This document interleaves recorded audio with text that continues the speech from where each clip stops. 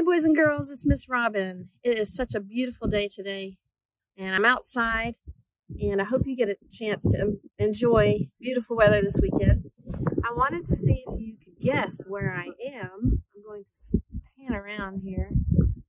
There's some trees, lots of rock, and I don't know, you may have been to this place. If you live anywhere around here, you've been here. Can you guess where I am? If you guess Stone Mountain, you're right. Our Bible story last week, if you remember, was when Jesus appeared to the disciples. And this week, he appears to them again and he tells them to go on the top of a mountain. So that's why I decided to come to the top of a mountain. So let's listen as Miss Julie reads our story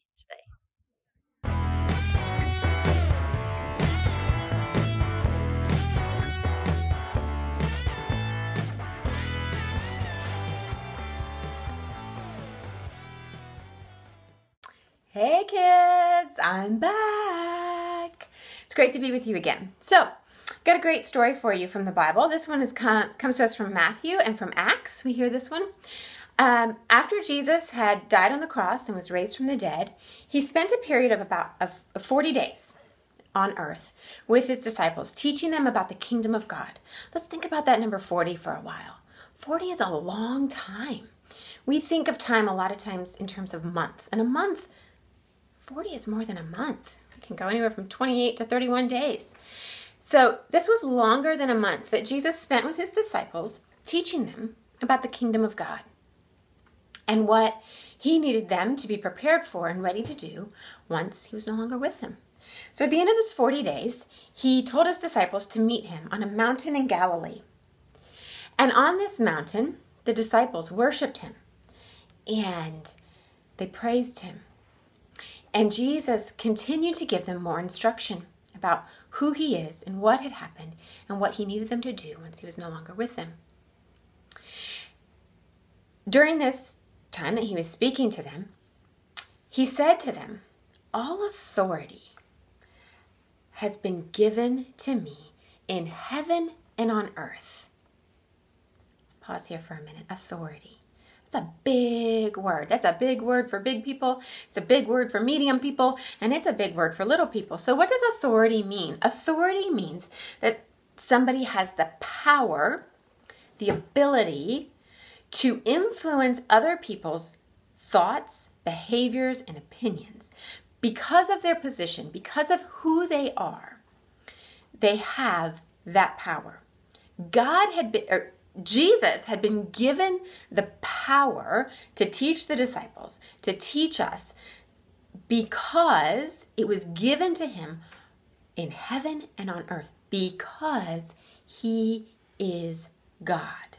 He has that power, that authority in our lives and in the lives of the disciples. And so, because with this authority, he told the disciples, he said, go. This instruction was not just for the disciples, it was for everyone who follows Jesus. Go into all the world and preach the gospel. Make disciples of people from every nation. So Jesus told the disciples and us to go.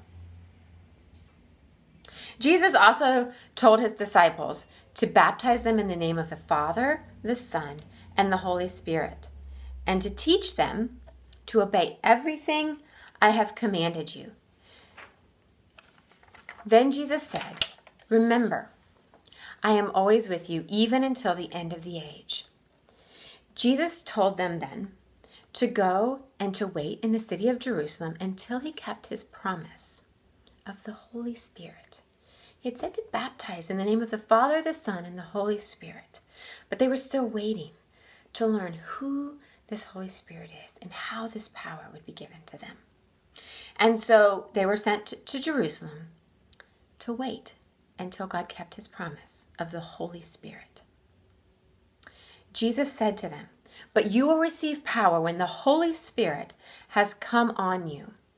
You will be my witnesses in Jerusalem, in Judea, and in all Samaria, and to the ends of the earth. This promise that Jesus is giving to the disciples is true for us as well. After Jesus said these things, he went up into heaven. The disciples watched Jesus until a cloud hid him from their sight.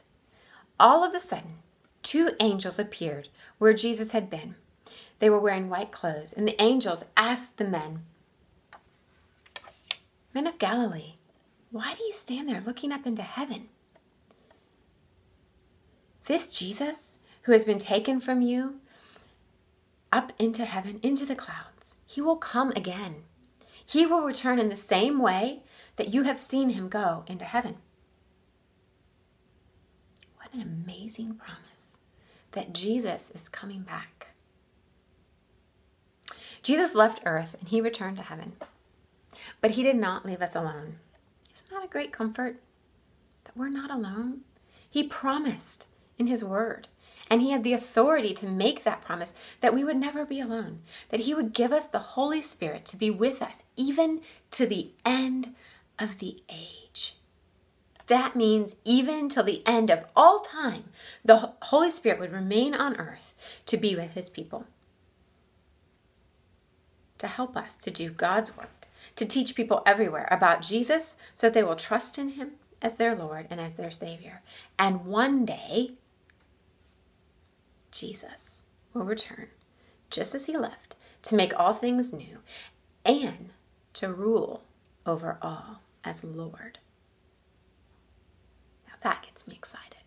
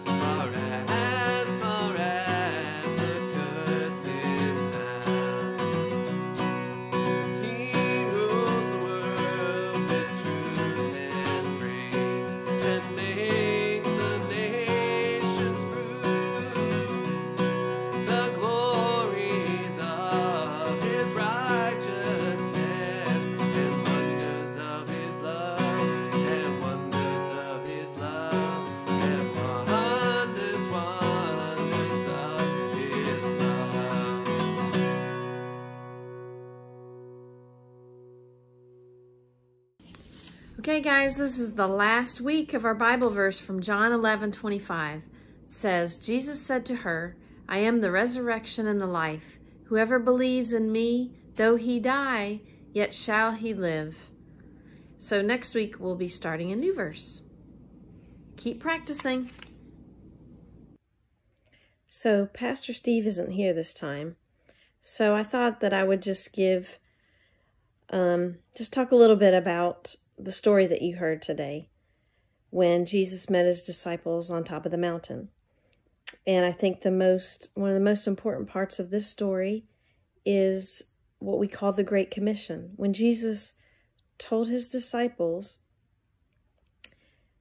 of course, how much he loved them, but also told them to go and spread the good news of Jesus' resurrection, that he is still alive. And so, to me, that's the most important part of this story. And it tells me and reminds me that we are all called as believers in Jesus. We are all called to tell his story to the world because Jesus wants us to tell about his life and to tell about how wonderful God is. And Jesus doesn't just tell us to go on our own, um, but he, he told the disciples then on that day, and he tells us in his in his word that he gives us the Holy Spirit to help us because we would probably mess it up big time if we just did it on our own. So he also said that he is always with us and will go before us and go with us.